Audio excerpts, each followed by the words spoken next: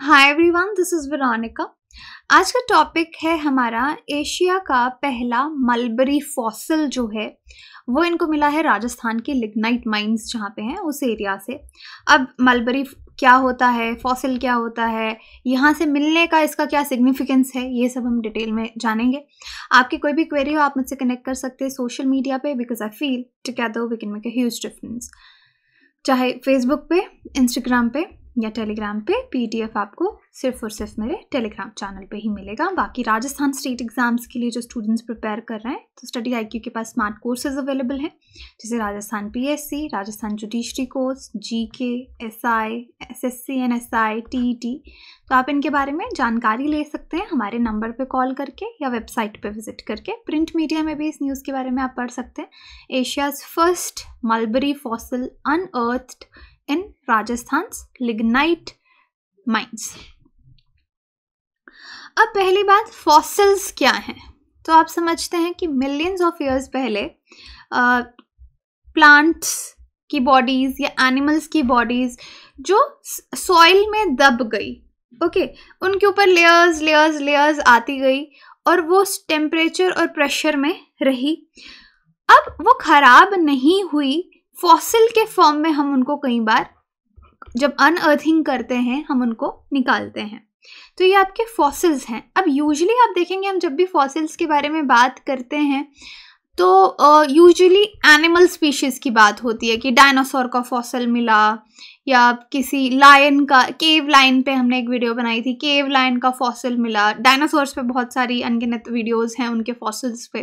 तो हमें पता चलता है उससे कि उस समय लाइफ कैसी रही होगी, उस टाइम के एनिमल्स कैसे थे राइट लेकिन इसी तरीके से जिस तरह से एनिमल फॉसिल्स इंपॉर्टेंट हैं, इसी तरीके से प्लांट के फॉसिल्स भी इंपॉर्टेंट हैं। जो प्लांट की मिलियंस ऑफ़ ईयर्स पुरानी बॉडीज़ अगर हमको मिलती हैं तो हमको पता चलता है कि पर्टिकुलर एरिया में किस तरह का क्लाइमेट रहा होगा, किस तरह की वेजिटेशन रही होगी, ये इसका सिग्निफिकेंस है। तो यहाँ पे आपको अब एक प्लांट मलबरी है ये, इसका फॉसल मिलता है। तो सिग्निफिकेंस हम क्या ड्रॉ करेंगे?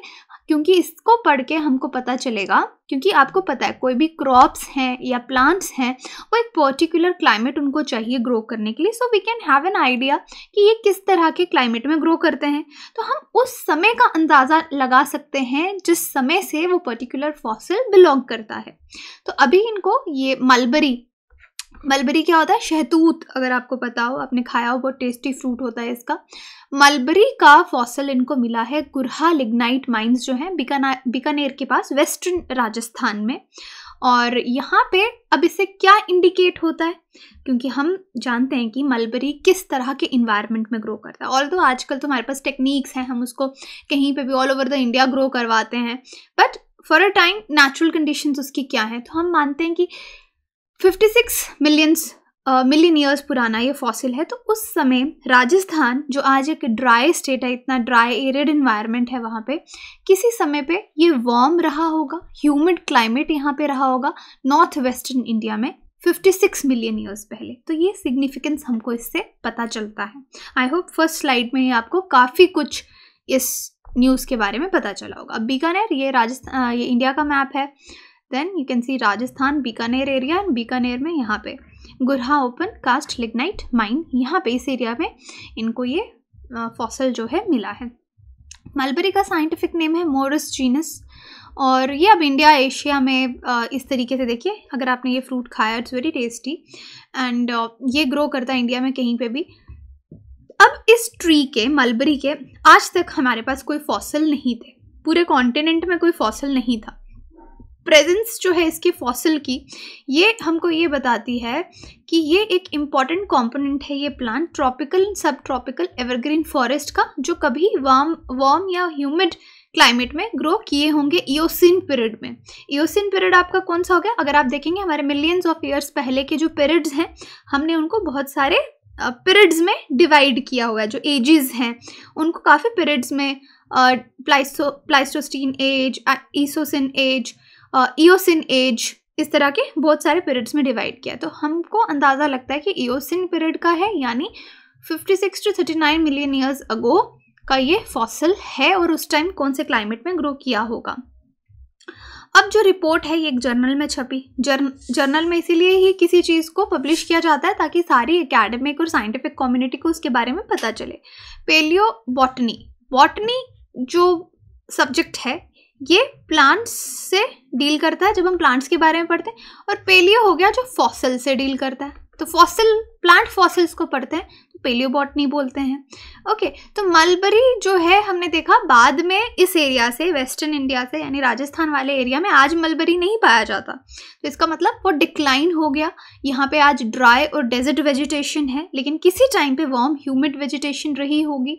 और ये सब क्यों हुआ? क्लाइमेट चेंज की वजह से। लैटिट्यूडनल चेंज इस एरिया में आया होगा। या रेनफॉल किस तरह से चेंज हुआ? योसिन पीरियड के बाद उस वजह से ये प्लांट वहाँ पे अब anymore it doesn't grow there mulberry के बारे में देखिए। मलबरीज जो हैं डेसीडियस हैं और इनके लीव्स रहते हैं, इनके कैरेक्टरिस्टिक्स दे रखे हैं प्लांट के कि ऑल्टरनेटिवली अरेंज्ड प्लांट लीव्स हैं इसके। मोनोइशियस हो सकता है मतलब। मोनोशियस का मतलब इसके इंडिविजुअल प्लांट पे ही मेल फीमेल फ्लावर्स हो सकते हैं या डाइशियस हो सकता है सिर्फ़ मेल और फीमेल फ्लावर ही हो। सो so, ये इसके करेक्टरिस्टिक्स हैं मलबरी के। अब इसके छोटे छोटे माइन्यूट से फ्लावर्स रहते हैं और अगर इसका फ्रूट आप देखेंगे इस तरह से क्लस्टर में भी लग क्लस्टर में लगता है ओके और ब्लैकबेरीज को रिजेंबल करता है। जब ये पक जाता है पूरा फ्रूट राइप हो जाता है white pink purple purple colour होता है, आपको यूजली ऐसे ब्लैक लगेगा but it is dark purple या रेड कलर में आप इसको देखते हैं। अब आज तक अगर हमारे पास इसका फॉसिल का एविडेंस नहीं था उससे साइंटिस्ट को मलबरी के बारे में, मोरस के बारे में बहुत ज़्यादा इन्फॉर्मेशन नहीं थी कि कैसे डाइवर्सिफाई हुआ होगा। एवोल्यूशन ने कैसे इस पर वर्क किया एशिया में। अब लीफ और जो फ्रूट है, जो मोरस का इसको ईओसिन्स अब तो हमको पता है कि ठीक है, ईओसिन एज से हमको फॉसिल मिला है, लेकिन इससे पहले हम पेलियोसिन जो टाइम है यानी 66 million to 56 million years ago हम सोचते थे कि होगा या 33 टू 20 मतलब अंदाजे ही थे हमारे जो सेडिमेंट्स हमको यूनाइटेड स्टेट्स से मिले थे। उनके अकॉर्डिंग हमको पता था, लेकिन एशिया का कोई हमको नॉलेज इसके बारे में नहीं थी।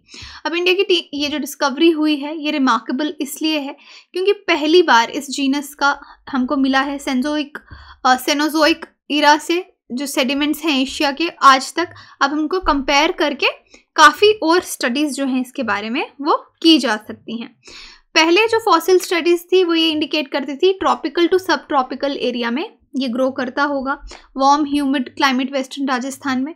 लेकिन आज ड्राई डेजर्ट कंडीशंस उस एरिया में हैं। प्लस सबसे ज़्यादा यहाँ पे स्टडी करने का बनता है कि क्लाइमेट किस तरीके से चेंज हुआ होगा क्योंकि आग, अगर आज उस एरिया में ये नहीं पाया जाता इसका मतलब किस तरह का क्लाइमेट चेंज हुआ होगा या कि, किन किन चीज़ों का ये रिज़ल्ट हो सकता है कि इंडियन और यूरेशियन प्लेट्स आपस में शायद टकरा गई हों ये हिमालयाज अपलिफ्ट हो गए और तिब्बतन प्लाट्यू एवोल्यूशन हुई long term fluctuation seasonal rainfall में या मानसूनल कंडीशंस में आई तो बहुत सी चीज़ें इसके बारे से, यहाँ से रेफरेंस लेके पढ़ी जा सकती हैं। तो इसी स्टडी का, इसी रिसर्च का फ्यूचर रिस्पेक्ट क्या है। अब इसके लिए ऑब्वियसली प्रॉपर लॉन्चिंग पैड रखा जाएगा डिटेल स्टडीज़ की जाएँगी मटेरियल्स कलेक्ट किए जाएँगे, ताकि क्लियर पिक्चर हमारे सामने आए। ईओसिन प्लांट फॉसिल्स के बारे में हम क्या जानते हैं? साइंटिस्ट बहुत इंटरेस्ट रहते हैं, लेते हैं ईओसिन पीरियड में, क्योंकि उस टाइम माना जाता है कि वार्म टेम्परेचर्स रहे होंगे उस टाइम एवोल्यूशन कैसे हुई डाइवर्सिटी कैसे थी और कॉन्टिनेंट्स जो आज हमारे मॉडर्न डे प्लांट्स या वर्टिब्रेट स्पीशीज़ हैं, वो वहाँ से कैसे इवॉल्व होके आज प्रेजेंट फॉर्म में, अपनी मॉडर्न फॉर्म में पहुँचे, इन सब पे रिसर्च तो चलती रहती है वेरियस आर्टिकल्स आते रहते हैं, आपके जर्नल्स आते रहते हैं और काफ़ी हद तक हमको इसके बारे में मालूम भी है। नॉट काफ़ी हद तक बट जितना हम एवोल्यूशन को जानते हैं। और ऑथर्स यहाँ पे यही बताते हैं कि mulberry plants were well suited to the climatic condition in the Eocene period और ईओसिन पीरियड में जिस तरह की कंडीशंस थी मलबरी ट्रीज उसमें बहुत अच्छे से ग्रो करते थे। ऑल द सारे पेलियो बोटानिस्ट जो हैं, उससे अग्री नहीं करते थे थिंक कि इसके लिए भी हमें और भी ज़्यादा अभी इंफॉर्मेशन चाहिए।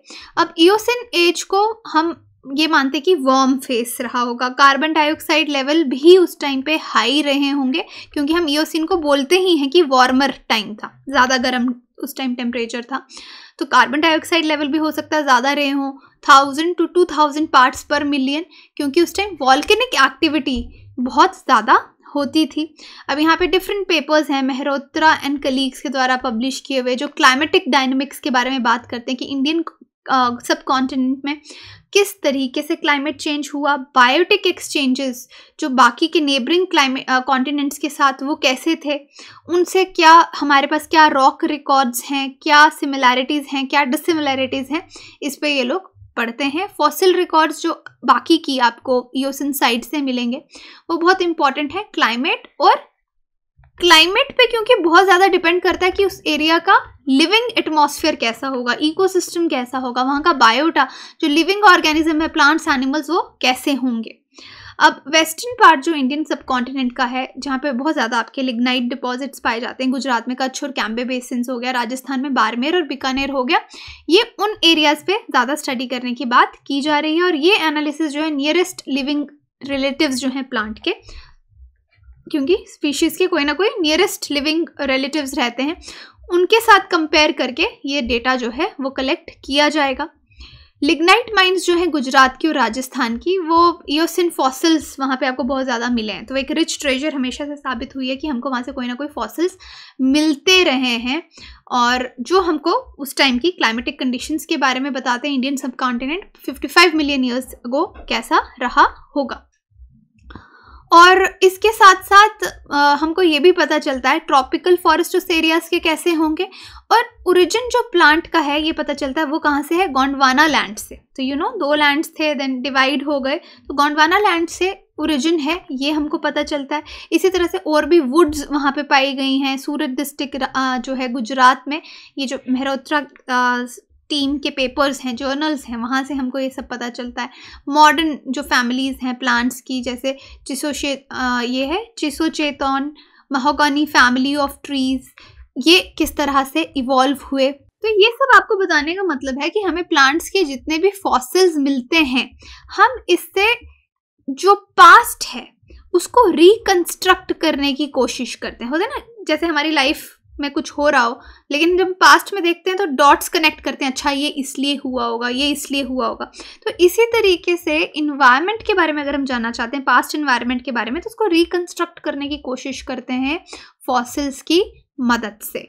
मलबरीज के बारे में जनरली जो ये फ्रूट है, काफ़ी बेनिफिट्स इसके रहते हैं।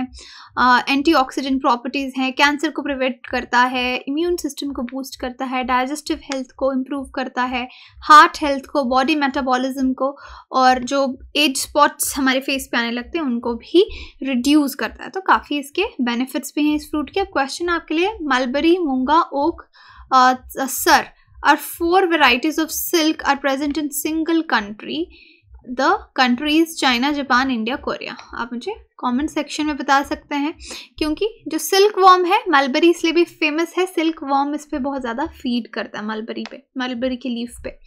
आ, तो आप या फिर आप टेलीग्राम पे पोल में पार्टिसिपेट करते हैं आंसर जानने के लिए बाकी आप कोर्सेज के लिए वेबसाइट विज़िट कर सकते हैं एप्लीकेशन डाउनलोड कर सकते हैं या कोर्सेज ई पे भी अवेलेबल है। Thank you so much